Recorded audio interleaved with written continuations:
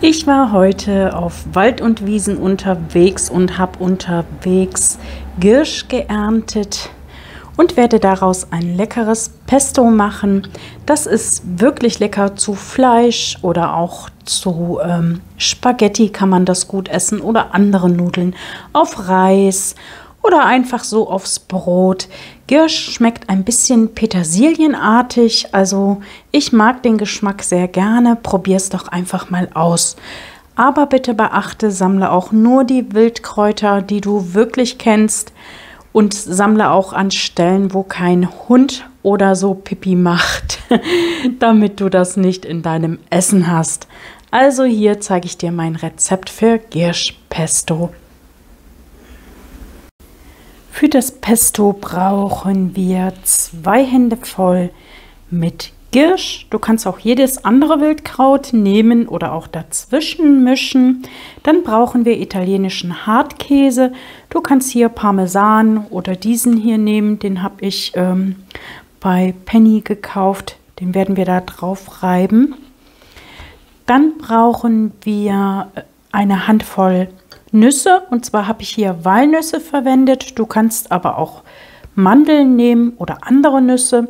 Dann hier ungefähr fünf große Knoblauchzehen. Ich habe hier noch eine kleine dazwischen. Dann einmal Salz. Das wird nachher nach Geschmack und Bedarf dazugegeben.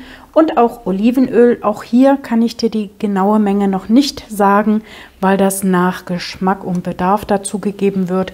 Das heißt, je nachdem, wie flüssig das Pesto dann wird, so viel Olivenöl brauchen wir dann auch. Dazu sage ich dann aber später noch mal mehr. Ich sortiere meine Kräuter immer noch mal von Hand durch, damit ich auch wirklich nichts anderes erwischt habe und ich auch sicher bin, dass ich das richtige Kraut gefunden habe und mitgenommen habe. Und danach gebe ich es in ein Wasserbad mit kaltem Wasser und lasse es erstmal ein bisschen einweichen und wasche dann eventuelle Schmutzreste ab. Beim Aussortieren schneide ich auch dicke Stängel ab, weil die meistens ein bisschen hart sind. Auch Blätter, die beschädigt oder nicht mehr so schön sind, sortiere ich aus.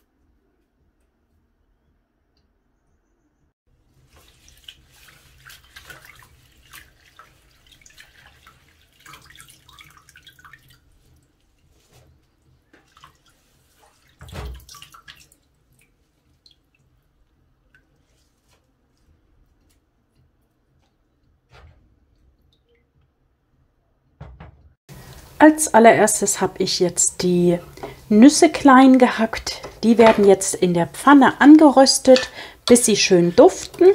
Und in der Zwischenzeit werde ich den Knoblauch hacken und auch den Giersch klein hacken etwas. Hier bitte gut aufpassen, dass euch das nicht anbrennt.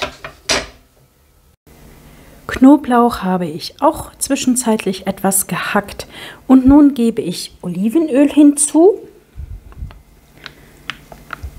und werde das Pesto pürieren. Dafür nehme ich meinen Pürierstab. Ich habe das Giersch jetzt so lange zerkleinert, bis hier ein dickflüssiger Brei entsteht. Das ist natürlich mit dem Pürierstab etwas mühselig. Wenn du eine Küchenmaschine hast, geht das ganz bestimmt schneller. Aber mir reicht das jetzt erstmal so aus. Jetzt werde ich die Nüsse hinzugeben und auch mein Salz. Und ganz zum Schluss, also ich werde dann noch einmal durchpürieren und ganz zum Schluss kommt nachher der geriebene Käse dazu und dann sind wir auch schon fast fertig.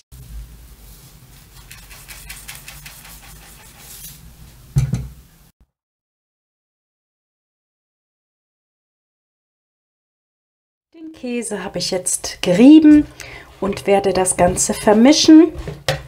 Und wie du siehst, ähm, das ist wie ein dickflüssiger Brei, so würde ich das beschreiben.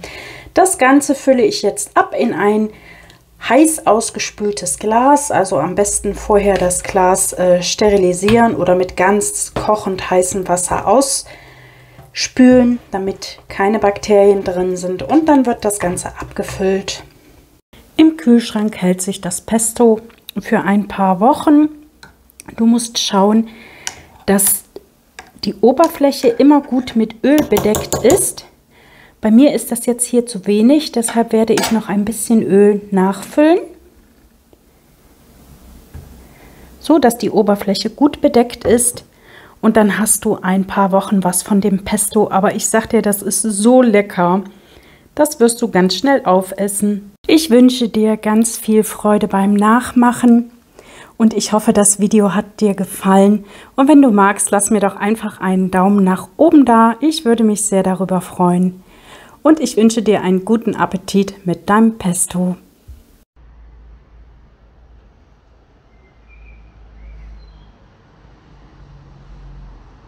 Und hier ist auch noch eine Idee, was du mit dem Pesto machen kannst. Ich habe hier einfach Brotteig ausgerollt. Du kannst natürlich auch einen einfachen Hefeteig machen.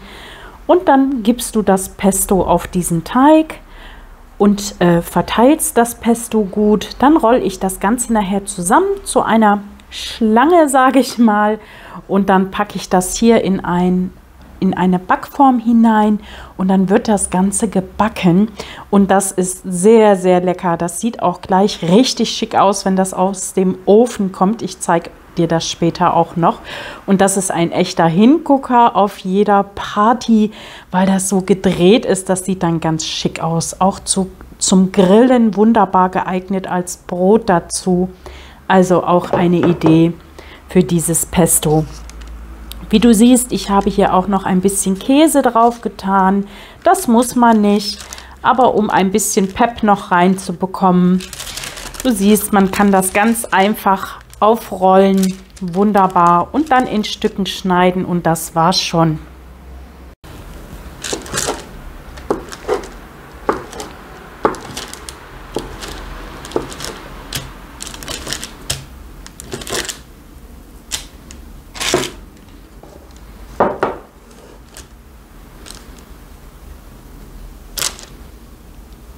und ab in den Backofen. Und so schaut das Ganze dann aus, wenn das fertig ist. Wildkräuterpesto Brot. Und gerade eben habe ich mein Pesto-Video abgedreht und ich wollte mal zeigen, was man im Video im Allgemeinen dann nicht sieht. So sieht es nach der Videoaufnahme aus. Weißt du Bescheid? Und hier steht immer noch das Pesto.